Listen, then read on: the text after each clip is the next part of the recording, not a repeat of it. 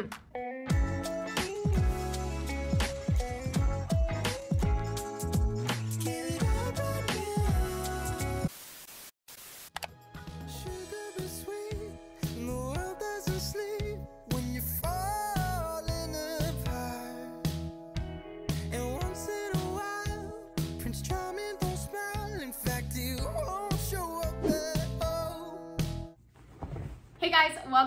To my channel. Welcome back to another video. Welcome back to a what I eat thing. I love to share these because I love to show the realistic side of what I eat every single day. Sometimes I'm super hungry, sometimes I'm not so hungry, and that is what it is. You know, I don't eat to maintain certain calories every single day because my body needs different things on a daily basis and that is totally okay and valid and the basis of intuitive eating is listening to yourself every single damn day and fueling your body accordingly. So we got lots of fun recipes, lots of yummy meals, and some failures in here as well, and that is what it is. Sometimes you try new things and it doesn't really work out, but hey, life. So I hope you guys enjoyed today's video and let's get on to the food. Hey. So this morning I was feeling some oats, and I typically only crave oats in the wintertime or the cooler months or cooler days, but for whatever reason I was jamming them this morning. So I just cooked them over the stove, just half of a cup in some water until they were nice and creamy and delicious. I then added some vanilla protein powder and some ashwagandha. I absolutely love cycling in ashwagandha every couple months because it is just so good for one, your overall health and managing your stress, so I cannot recommend it enough. However, we topped our oats with some frozen blueberries that we warmed up over the stove, along with some almonds and some walnuts, and of course, the one and the only favorite fruit of most people, the banana. Oh,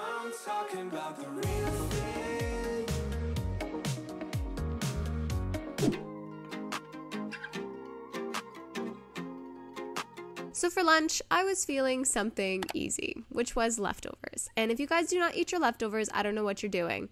How did I know this one was going to be gorgeous? How did I know that? Huh? I don't know. This recipe is at the end of last week's What I Eat in a Week video, so definitely go check that out if you were craving it and think it looks delicious. I then just added half of an avocado on top and enjoyed.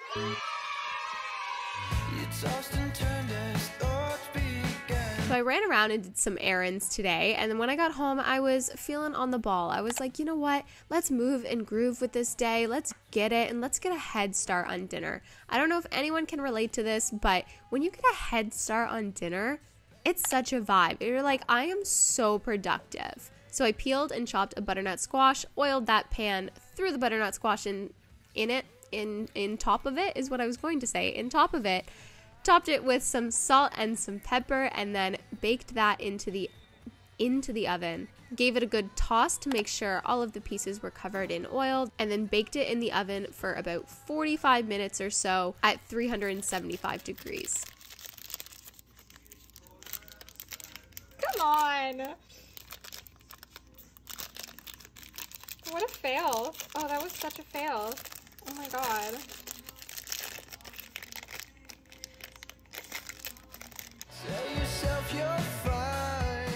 And you may notice that my voice is a little nasally right now, and that is just because I got a little sick after this video was filmed, and you'll see it in next week's What I Eat in a Week video. I feel fine. I just got this nasally voice right now, unfortunately. So, so sorry that you have to listen to me like this, but kind of is what it is. Anyways, we threw our cooked butternut squash into our blender along with a whole bunch of spices. I can write the full recipe down below. And then I also added some leftover cashew cream sauce in this as well, along with a bunch of water and some turmeric and some cinnamon. So this was kind of more like a very warming type of sauce with the turmeric and the cinnamon, and I added ginger in it as well. Mm.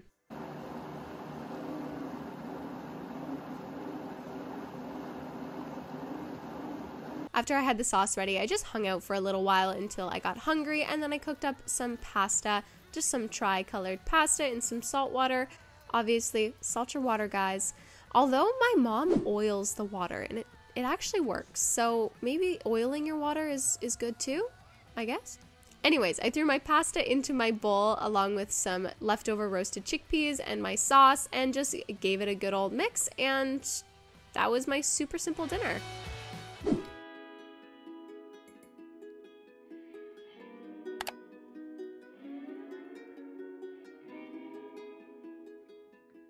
So this morning I was feeling a hot chocolate, and hot chocolate is a love language to me. Chocolate is just a love language to me. I was feeling extra little spice, so I added some peppermint oil in it as well.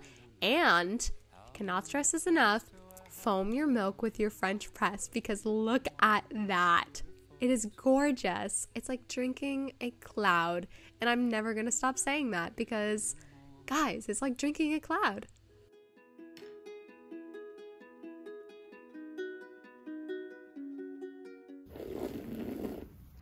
Why I always think I can fit more in a cup than I can, but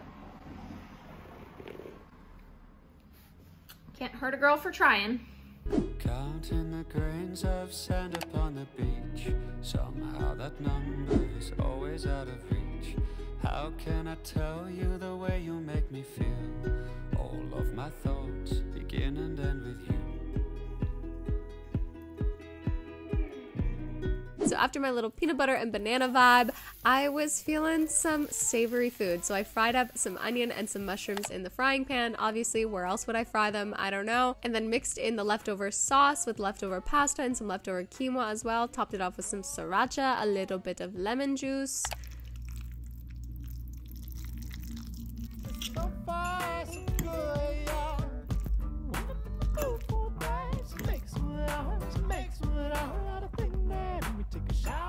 Is actually really good. I think just because the sauce is sat overnight, all the flavors have really, really combined and like meshed together to make this beautiful harmony of like spiciness, a little bit of sweetness from the cinnamon. It's very warming. Oh, I'm loving this. Also want to say, started my period today. Cramps are like feeling yeah, so it's just kind of one of those days. When I'm on my period, I think I've said this in several other videos, I'm just not as hungry. And I know so many women are the exact opposite of me. They're like so hungry, like all they want to do is eat all day. And for me, like I think just because I tend to get quite bloated on my period, I don't want to feel more heavy. Like I already just feel so heavy and tired and like, oh, that like eating food is just like it kind of turns me off to be honest. So i tend to eat like smaller meals and uh yeah i try to pack it with some good nutrients and like whatever and i always crave chocolate. Like that's my biggest craving is chocolate. On my period off my period dark chocolate is my biggest craving. Anyways i'm going to eat my freaking warming meal and i hope it makes me feel a little bit better because like i said my cramps are just So, like I said, I started my period this day and I just was not feeling life, you know? Anyone that has a womb can probably relate to the first day of your period, you're just feeling a little low, whether that's because of your cramps or whether that's just because your hormones dropped and you're just feeling a little low. It's all okay, it's all valid. So I decided to make a super simple smoothie with a banana, chocolate protein powder, turmeric, ashwagandha, all of the good things that we need for our periods. And then about an hour later, I was like, girl, you're still hungry, okay? You're still hungry, you still need a little snack. So I used the rest of the leftover quinoa along with some leftover red cabbage, some red onion, some fresh dill, some vegan mayo, some lemon juice, some black pepper, some Dijon mustard, and I just gave that all a good mix. And that was just a super simple little salad that, that I threw together, and it took me like five minutes.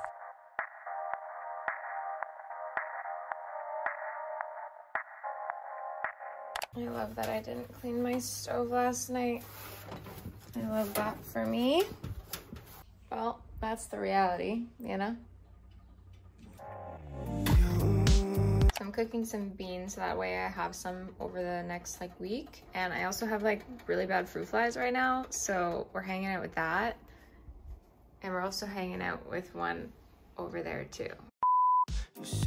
You already know I'm on top of my hot chocolate game right now because one, delicious, two, Cocoa powder is super, super high in iron, which is essential for all of you lovely people that carry a womb and that bleed every single month. I added my cocoa powder and a little bit of matcha as well for an extra caffeine kick some maple syrup and a package of lion's mane mushroom elixir and then I just foamed that up in my french press as you saw and mm. Ooh, you know what? This is way more aesthetically pleasing. You really make me wanna fly.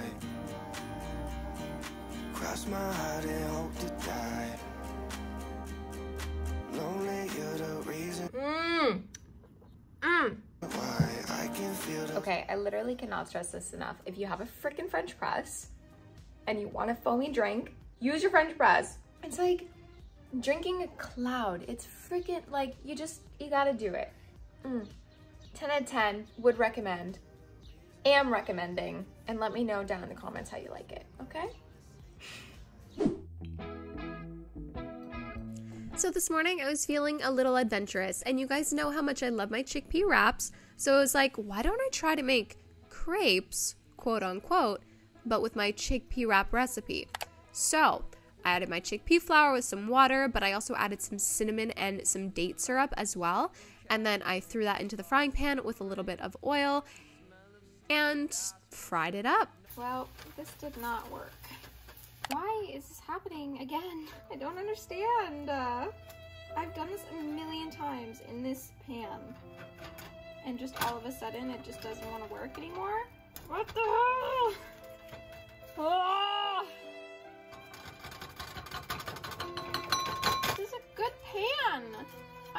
Frustrated. Ugh, I really wanted this. Ah. As you saw, that was a complete failure and a little bit of an embarrassment. However, I think it's because of the pan.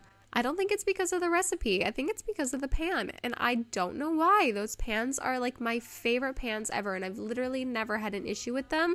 But ever since this chickpea wrap, I've had an issue with it. And it makes me sad. But because I hate wasting food, I used the scraps of it and made it into this very pretty, aesthetically pleasing bowl that I think just the bowl that I put it in actually made it aesthetically pleasing, you know what I mean? But I threw some warm blueberries, some peanut butter, some hemp seeds, and some maple syrup on top, and I wasn't mad.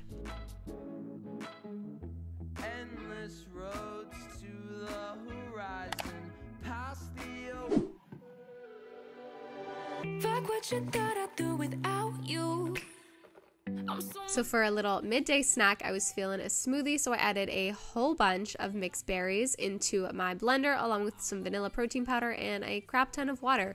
I also added some ground up chia seeds, the little bit that I had left, and enjoyed this. And the berries that I used were blackberries, blueberries, and raspberries. I can't have strawberries, so that's why I didn't use those.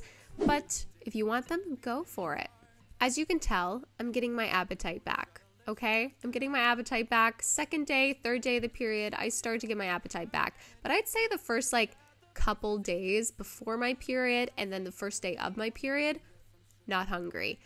Anyways, we added some rice, some cooked sweet potato, some spinach, some kale, cucumber, red onion, red pepper, red cabbage, hemp seeds, avocado, and then we actually topped it off with an Asian inspired dressing and a little bit of sriracha because one, delicious, and two, there's no two. There's no two. There's just one. Just one. From there, I went over to Veronica's house and she made me this delicious vegan pesto pizza. And thank you, girl, so much. I freaking love you. And we just sat outside and chatted and ate a ice cream bar. And it was a great night because I was with my BFF.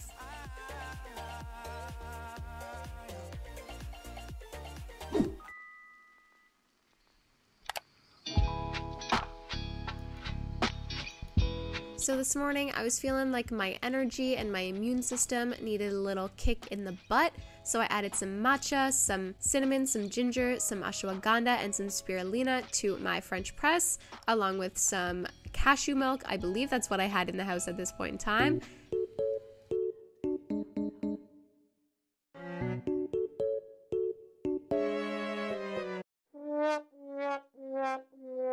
As you saw, that was a fail.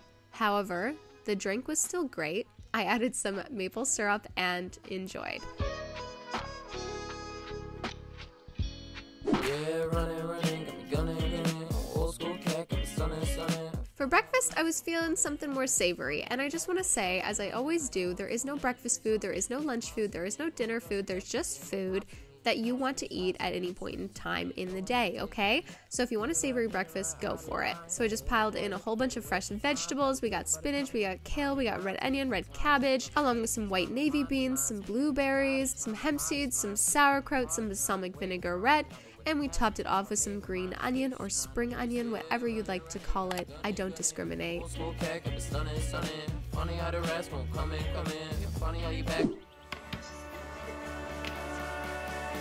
A little bit after my breakfast, I decided to munch on some more blueberries and a banana sitting outside working on my laptop. And then we needed some lunch. We needed some lunch. So I chopped up a bunch of kale, bok choy, minced some ginger and some garlic, added that to the frying pan along with some oil, some tamari, threw my kale in there. Needed a touch more oil because it, it just needed it, trust me. From there, we added some water and our bok choy along with some more tamari to get that flavor, get that saltiness, and mm, I just, I love tamari. Soy sauce, tamari, Asian flavors, those are my vibes a lot of the time, not going to lie. I warmed up some leftover rice, added my kale and bok choy to my plate as well, along with a whole bunch of fresh veggies. We got some carrots, some red cabbage, and topped it off with my favorite hot sauce, sriracha, along with some delicious tahini. This tahini, guys, is so damn good. Like, it's legitimately the best tahini that I've ever had in my whole life. Highly recommend it. I showed it in my grocery haul video, and somebody commented saying that it was like the best tahini ever, and you are right. You are right. It's not sludgy, it's not chalky, it's not anything but creamy deliciousness.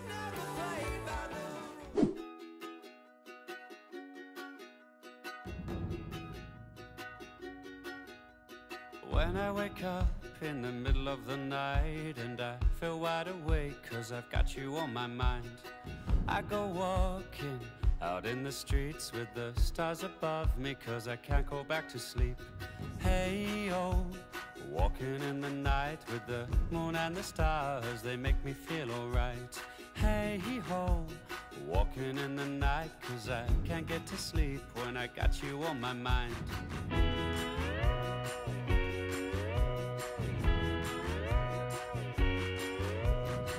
See the dog that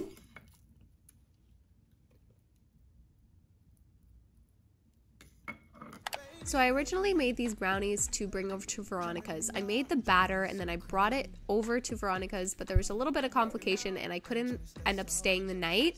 So I had to bring home the batter and then bake it the next day. I'll write the brownie recipe down below for you guys because these brownies, they're sweet potato brownies and they are so damn delicious. Okay, 10 out of 10. Anyways, we were feeling a quick little smoothie, so I added a banana, some chocolate protein powder, some ashwagandha, some hemp seeds, and a whole whack ton of peanut butter because you guys already know that's where it's at. Again, very sorry if you're allergic to peanuts.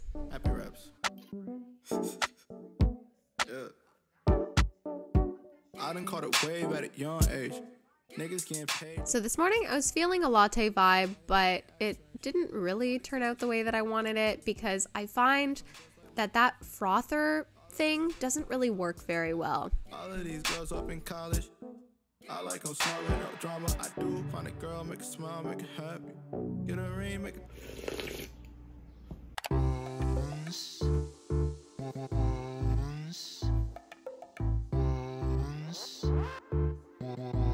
Was feeling a savory and green breakfast today again, so I threw my kale into a bowl along with some salt and some lemon juice and massaged that kale in. Massage that kale in? You know what I'm saying. Massage that kale in. What? Mm, anyways, we chopped up a whole bunch of parsley and threw that into our kale bowl as well. We chopped up some cucumber and some red onion and then seasoned the bowl with some more lemon juice, some pepper, and of course, some freaking delicious, creamy, mm, just mm, tahini. To make it a little more sweet, we added some blueberries. I just love adding blueberries into salad bowls, it is such a beautiful element to them.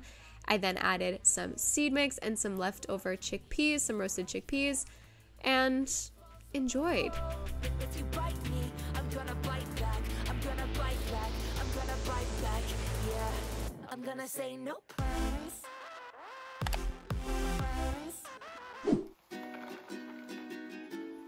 So today was a hot one. It's it was a real it was a real hot one. So I added a whole bunch of Blair Blairies Blairies to my blender along with a banana, protein powder, ashwagandha, some spirulina, little splash of plant milk, little splash of water to make it this creamy smoothie bowl consistency, and then topped it off with my favorite seed, the hemp seed, and enjoyed this sitting outside on this beautiful hot day. Have each other and live off their coconut seed. I know you love the ocean and you love the sun. We could So if you guys have been hanging out for a while, you know that I make kombucha, and I swear to you, there is a video coming. I filmed it. I just have not had the time to edit it. It it will be it'll be here soon. But anyways, I left some frozen blueberries out until they started to melt. I then added them to my bottles along with my kombucha mixture and then sealed them on off and you will see me drinking them not in next week's what I eat in a week, but the following week what I eat in a week. I haven't cracked them open yet, but I'm really, really excited to try them. I think I'm going to open them today, the day that I'm recording this voiceover. So maybe you will see them in next week's dinner. We chopped up a whole bunch of red peppers because I had one sitting in the fridge that needed to be used and a half of one that needed to be used. So I chopped up it all, along with some mushrooms, some onion, and some fresh ginger or garlic is what I mean, garlic. I then added my onion to my pan, let them saute for a little while, and then added my mushrooms in there as well, along with the garlic, some salt, some pepper, and some chili flakes. I then needed some more Italian inspired seasoning. So I added some basil and some oregano as well. And then we're making a sauce. We're making a tahini sauce. So it's kind of similar to the hummus sauces that I make, but with tahini. So I added some Dijon mustard along with my tahini, some lemon juice, and some water, and then just gave it a really good mix. I added some rice noodles to my veggies, added this sauce, and mixed everything all on up. I know some of you probably think it's weird that I eat rice noodles like that with this type of meal, but honestly, it's really, really good. And I don't really find it that big of a difference between the other types of rice noodles that I buy. So, you know, have what you use in the house.